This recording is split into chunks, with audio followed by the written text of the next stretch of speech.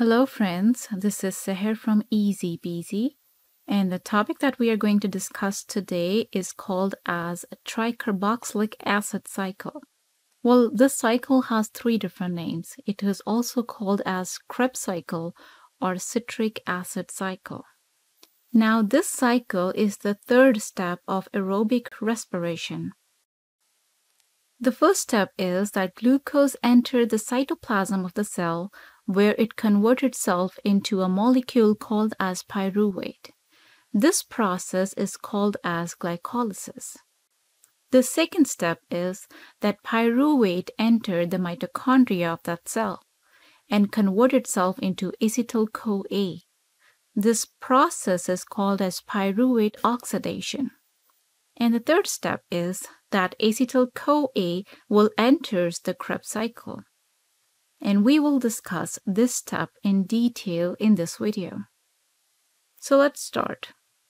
So this is the acetyl-CoA we have here.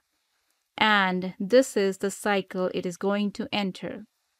Within this cycle, we have a compound called as oxaloacetate. It is a four-carbon compound. Now, oxaloacetate and acetyl-CoA, with the help of an enzyme called as citrate synthase and water, will combine themselves and make a compound called as citrate. With the release of coenzyme A that was present on acetyl-CoA. In order to see how these two compounds are combined together, let's number the carbon compounds on each molecule.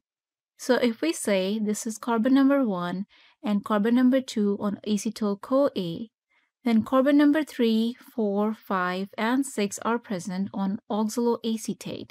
So by this way, we can number the carbon atoms present on the molecule of citrate and can see that carbon number 1 of acetyl-CoA combine itself with carbon number 3 of oxaloacetate. Now, citrate, with the help of an enzyme called as aconitase, will release water molecule and will convert itself into a compound called as cis-aconitate. Now this is the same compound, but what happened is that OH from carbon number 3 and H from carbon number 5 is released as water from the compound, making or generating a double bond here. Now cis-aconitate with the same enzyme called as aconitase will take the water back and will convert itself into a compound called as isocitrate. Now as you can see, the OH of water molecule is attached itself with carbon number 5 and hydrogen is attached with carbon number 3. So by this way, the citrate molecule isomerizes itself into isocitrate with the help of an enzyme called as aconitase. Make sense? Okay. Now, isocitrate molecule with the help of an enzyme called as isocitrate dehydrogenase will convert itself into a compound called as alpha ketoglutarate with the release of carbon dioxide that was present on position 4 here. Now the enzyme is called as isocitrate dehydrogenase. It means that it is going to remove hydrogen from isocitrate.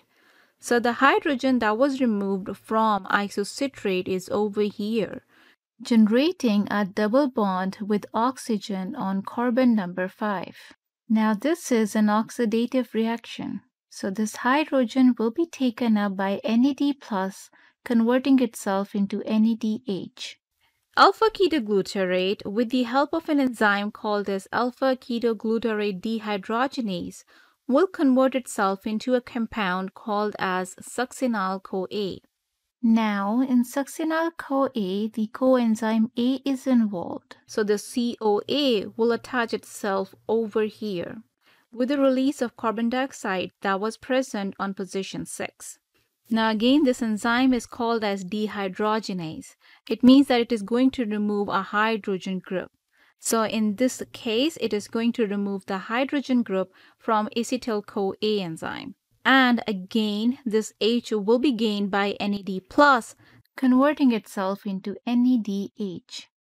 Now this succinyl-CoA, with the help of an enzyme called the succinyl-CoA synthase, will convert itself into a compound called as succinate. In this reaction, the coenzyme A will get released from succinyl-CoA, converting itself into succinate. This is again an oxidative reaction, so the electrons that are released by this reaction will be taken up by GDP and it will help with the conversion of GDP into GTP. GTP stands for guanosine triphosphate.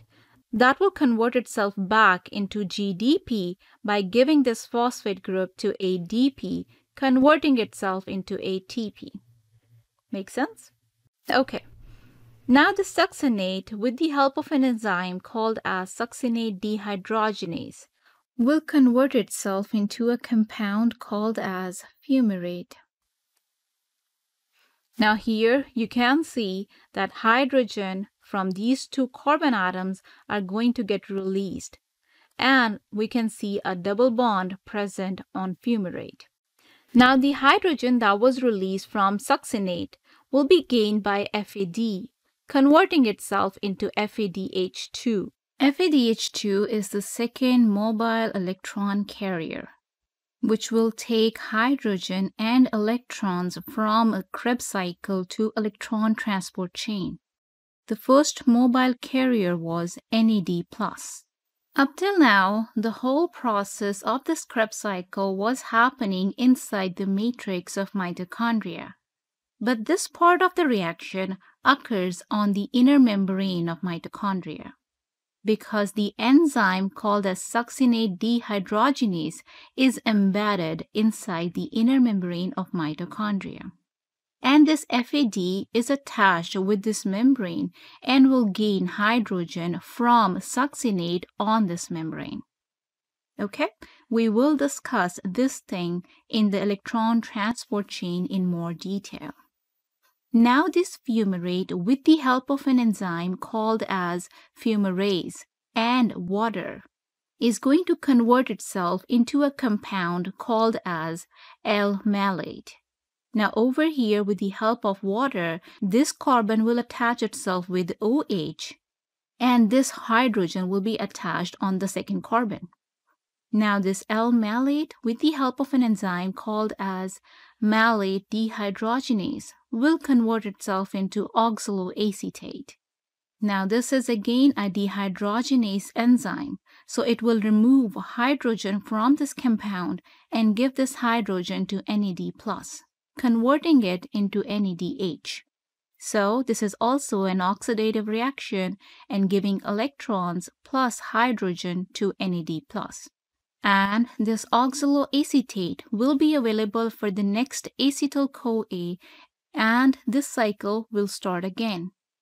Now, if we look at the cycle in general, we can see that acetyl-CoA have two carbons. And these two carbons are going to release from this cycle in the form of two carbon dioxide molecules. And the rest of the molecules are going to convert themselves back into oxaloacetate. Overall, in this Krebs cycle, one acetyl-CoA generates three NADH molecules and one FADH2 molecule with one ATP. Now, as we know that one glucose is going to convert itself into 2-pyruvate, and 2-pyruvate is going to convert themselves into 2-acetyl-CoA. So one glucose will run two cycles of Krebs cycle. So in total, one glucose will generate six molecules of NADH, two molecules of FADH2, and two ADP molecules. That's it for now. Thank you very much for watching this video. If you like it, please subscribe our channel. Thank you. Bye-bye.